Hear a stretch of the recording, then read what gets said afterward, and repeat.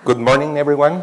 Uh, first, I would like to thank uh, the organizers for this incredible meeting and for giving me the opportunity to come here and present uh, the research that we have been doing in Mexico, particularly the case of hybridization in Mexican red oaks. So uh, this, this work was done by a student in my lab. So uh, Selene, who did all the actual work, with some help with, uh, by other persons, including Janine, who is here. Uh, so, to start, uh, we all know that hybridization in plants is very frequent and that it has several different important ecological and evolutionary outcomes, including, uh, for example, the reinforcement of reproductive barriers, but also, on the contrary, the merging of, of hybridizing taxa or the genetic assimilation of rare taxa by more common taxa. Uh, also the transference of characters between hybridizing species or the appearance of transgressive or novel characters in, in, the, in the hybrids or even the establishment of evolutionarily independent hybrid lineages, that is uh, hybrid speciation. And well, we all know that oaks are an emblematic example of a group with a very high frequent frequency of hybridization, as can be exemplified by this figure here in this paper by Hardin in 1975, where he indicated all the hybridization interactions among 16 different white oaks in the eastern United States. And at that time, uh, he thought that these two species were the only ones that were isolated from, from all the other ones. But uh, Andrew Hipp recently, in, in this latest issue of the, of the Journal of the International Oak Society, has pointed out that these two species also hybridize actually. So none of the species are actually completely isolated, and all of them can hybridize. But uh, outcomes of hybridization have been reported for the oaks. Uh, several ones, like including the formation of hybrid taxa, have been has been reported. Also, the reinforcement of the reproductive barriers. But uh, the most frequent outcome seems to be actually uh, when species do not merge. Nor produce hybrid taxa, but maintain some degree of gene flow between them. And this raises very interesting questions about like the possibility of collective evolution, that is the rapid spread of advantageous alleles among sets of species, as has been uh, explained in previous talks on Monday and also the possibility that species uh, differences are maintained by disruptive selection. And this uh, refers back to this concept of a semi-permeable species barrier that can stop some genes from integration but actively incorporates other genes into the genomes of the species. Um, so one way to understand what is happening or what is the dynamics of hybridization is to look at the structure of hybrid zones. So that is what is called hybrid zone analysis. And for a long time, hybrid zones have been considered like an interesting window into evolution, evolutionary processes or natural laboratories and uh, basically, a hybrid zone is an area where individuals from genetically differentiated populations meet, mate, and produce offspring. And these hybrid zones are usually produced after secondary contact of species or populations that have diverged previously in, under allopatric conditions. So let's imagine that this is a hybrid zone between two species that have recent, recently been into secondary contact. So this is a species A that has a character X, and this is a species B with a character Y, and this is the hybrid zone where you see both characters. And to analyze this hybrid zone, what, what one can do is to like to draw a transect from species A to species B across the hybrid zone and to record the frequency of, for example, one of the characters. And what you will see is a cline. So it's a gradual transition, like, for example, this part here where the species A lives. So none of the individuals have the character Y. And then you see this cline with a sigmoid shape. And then you see uh, the other species. So these, these kind of clines are very common in these hybrid zones. And what is interesting is that what happens after the contact depends on the relative fitness of the parental forms and the hybrids. For example, in the case when both parental genotypes and the hybrids have the same fitness, what happens after the contact is that these clines can widen and you know, the, the species start to merge. Uh, the other thing that can happen is that, that, one of the parental genotypes has a higher fitness than the hybrids and than the other parental, and in that case you see like the, oh sorry, the cline moves and one of the species get like absorbed by the other one. Uh, other possibility is that the hybrids actually have like the lower fitness uh, compared with both parentals, and this is independent of the environment, basically because of incompatibilities between the two genomes that are uh, mixing. And in this case, what happens is that the cline stays narrow, uh, and this is called a tension zone that is maintained by constant gene flow from uh, parental species into the hybrid zone. And, but hybrids are selected against within the hybrid zone. Or it can be that uh, the fitness of the parentals and the hybrids actually depends on the environment. So in this case, uh, the cline or the hybrid zone is associated to transitional or uh, you know, intermediate environments. So you have environment A here where species, species A lives, then you have a transitional environment where the hybrid zone is, and then you have environment B where the uh, species B lives. Uh, but it could also be that the environment is not like a gradient, but it's a, a patchy, a, a different patches of different environments are intermixed. And in this case, you don't see like a simple cline, but you see some broken pattern like this, and this is called a mosaic hybrid zone. Okay. Also, uh, we can divide hybrid zones into two main types according to the frequency of parental and intermediate individuals. So basically we have what is called a unimodal hybrid zone and bimodal hybrid zone. So in the unimodal hybrid zone, we see like a high frequency of intermediates and a low frequency of parental individuals. And in this case, we can infer that there is a lack of prezygotic isolation or selection favoring the intermediate forms. But in the case of the bimodal hybrid zone, we can infer that there are prezygotic barriers or selection against the intermediate forms. So, okay, we have applied this framework all that I said, to the, to the study of uh, hybridization be between these two Mexican red oak species, which are Quercus laurina and Quercus affinis. So as you can see, they are quite different, so they, they can be easily separated when they live in, allop in allopatric conditions, when they, only one of the species is occurs in a population. And according to the new phylogeny, these are non-sister taxa, uh, so they are related, but not, not a sister taxa. And uh, nevertheless, they produce like a wide range of intermediate forms when they occur in sympatric conditions. And this was first described by the Mexican taxonomist uh, Susana Valencia in 1994. And what is the distribution of the two species? Uh, one of the species, Quercus laurina, is basically distributed in the central part of the country. This is like uh, the Trans-Mexican volcanic belt, so it's a, a high, uh, high elevation mountain range across Mexico, and also in, in Oaxaca. So that's the distribution of this species. And the other species, Quercus affinis, is distributed more in the Sierra Madre uh, Oriental, near to the uh, Gulf Coast, but also in Oaxaca. So as you probably can guess, that's the area where the intermediate forms occur, and that's where the hybrid zone is located. So what we have done is that we have a sample across the hybrid zone, basically sampling uh, populations that are apparently pure uh, Quercus laurina populations, some populations in the hybrid zone, which is in the dark gray, and some uh, affinis populations in this other color, well, gray.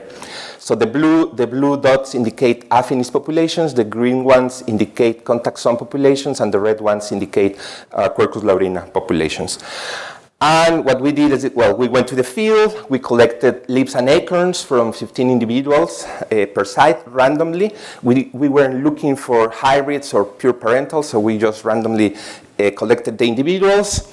Uh, then we went back to the lab and we did all the genetic analysis with nine uh, microsatellites, nuclear microsatellites. And we also quantified several leaf and acorn traits and uh, we obtained climatic variables for each site from the World WorldClim database to see if climatic variables could explain some of the uh, patterns of variation that we, that we saw.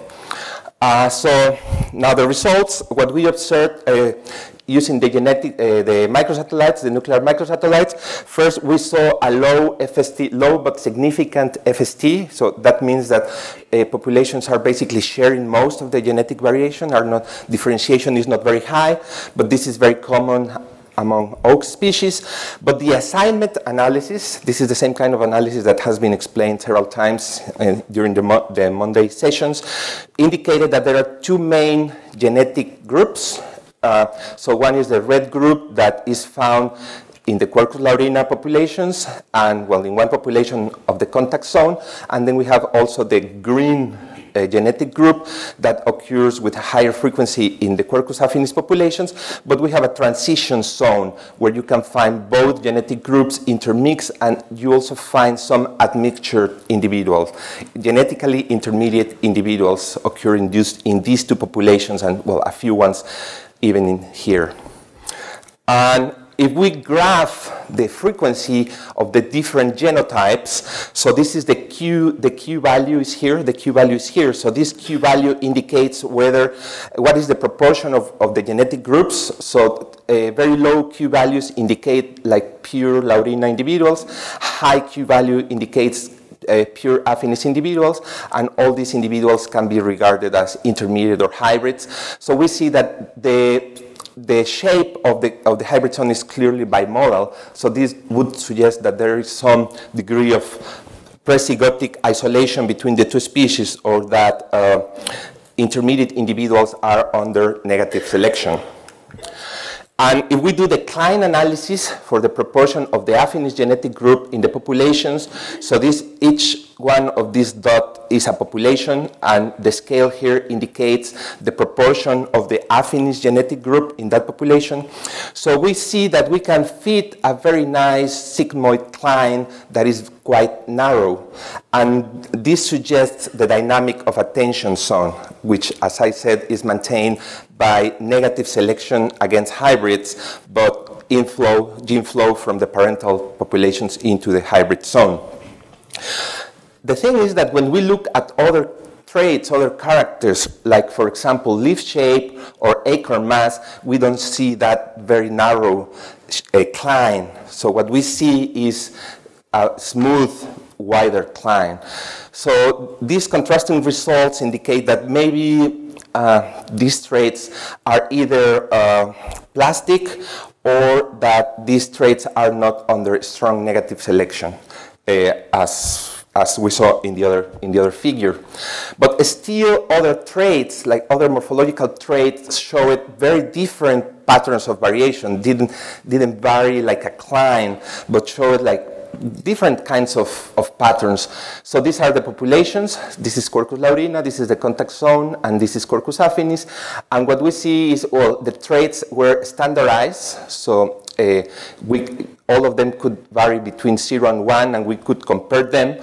And uh, I'm showing the trait, and also I'm showing uh, some environmental variables, like for example, altitude here, precipitation in the warmest quarter here, and altitude here again. And what we see is that a trait, for example, stomatal density, uh, is highly correlated with the altitude of the populations, but doesn't have like a clinal pattern. Uh, petiole length is correlated with the precipitation in the warmest quarter, and the frequency of a trichome type, a particular trichome type that occurs in this, in the, uh, on the leaves of this species, is correlated with altitude. So, the conclusions of this part might be that uh, first, uh, The genetic ancestry in the populations indicate a bimodal hybrid zone and a steep narrow cline. So this would indicate some degree of prezygotic isolation or selection against the hybrid. However, some morphological traits show wider, smoother clines, and others do not show geographical clines, but correlate with environmental variables. And it could be suggested that this indicates that different characters and different, different genomic regions are under the action of different forces in this hybrid zone. So there could be intrinsic selection against a recombination of some genomic regions you know, like in the tension zone model, but there could be also some extrinsic selection by the environment favoring some genetic combinations that could be uh, favorable under certain conditions.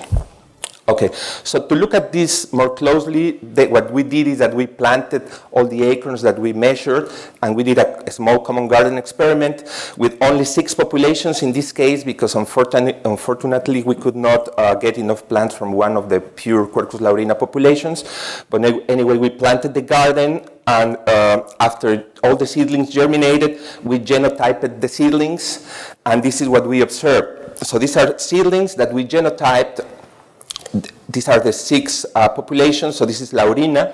So you see that the proportion of seedlings with uh, the Laurina genetic group is very high. Almost all individuals are uh, pure Laurina here, but these three populations, which are the ones from the contact zone, have a high proportion of hybrids, and particularly this population right in the middle of the hybrid zone is dominated by hybrids with a few la pure Laurina individuals, and you see, well, that it has a nice shape, and then you get like more affinis individuals on these more northern populations. So after knowing the genotype of each seedling, uh, well, we, we let them grow for a year, and after a year, under uh, optimum, optimal conditions, uh, we measured several morphological and physiological traits, and what we got is a series of different patterns de depending on, on, the trait.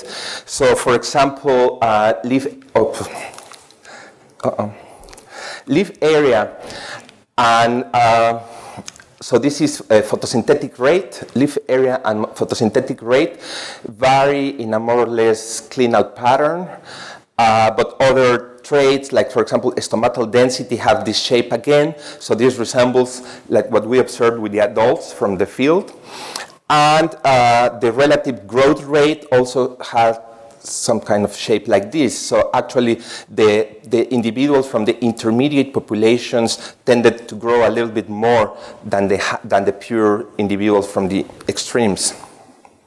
Uh, and also, well, we analyzed whether some of these traits were correlated with the environment at the populations of origin, and we found, we found some correlations. For example, the maximum photosynthetic rate is correlated with temperature seasonality, transpiration rate is correlated negatively with total annual precipitation, and growth rate is negatively, negatively correlated with precipitation seasonality. So it looks like there are some uh, correlations between the environment of origin and the, the, physiological traits that we see in the common garden. Okay, and after that, what we did, we did an, an experiment, an extreme drought experiment. So we were trying to actually kill the plants after taking care, take care of them. So we suspended uh, water for for extended period of time, and what we did is that at at several intervals, we measure several of the physiological functions. So this is zero days, seven days, 14 days, and 21 days. And you see all the physiological functions declining uh, after basically seven days. Well, between seven and 14 days, they start to decline. Uh, and after 21 days, the plants were actually dying, so they didn't have any photosynthetic activity, and uh, well, they were in really bad shape. But what I want you to see is that one population, which is that one, in all cases had a higher capacity to maintain the physiological functions. And this population is precisely that one that was dominated by the hybrids and that came from the central part of the hybrid zone. Uh, and well, after that, we gave water to the plants again, so we didn't really want to kill them, just a little, as close as possible, but not really. and we looked at uh, at the survival, survival after drought. So as we see, uh, also the, that population, that particular population had 100% survival after drought. And you see, in general, the intermediate populations had a higher survival than the parental populations. And finally, we wanted to know if this pattern of survival can be explained by any trait. And so we look at correlations between survival and different traits. And the only one that was significant and that was very interesting was leaf area. So apparently, uh, hybrid, I mean, populations from the hybrid zone have a smaller, smaller leaves, and that, that can explain why they survive better to drought. And populations from parental, uh, populations yeah, from the parental species have larger leaves and they have lower survival. So that, that could be one potential me mechanism to explain why the hybrids can survive better. So as conclusions, uh, we can say that populations differ in several morphophysiological traits, but there was not a clear pattern of higher or lower performance of intermediate populations versus the parental populations under our common garden conditions. But under water stress, one of the populations that was dominated by hybrid individuals and situated in the center of the geographical gradient showed a higher capacity to retain physiological functions and survive. So we are thinking that uh, if selection pressures are temporally variable, like for example, sometimes there are droughts, but not all the time, so this, this is a variable selection pressure, uh, so this will create opportunities for different genotypes to get established and persistent and persist in the population.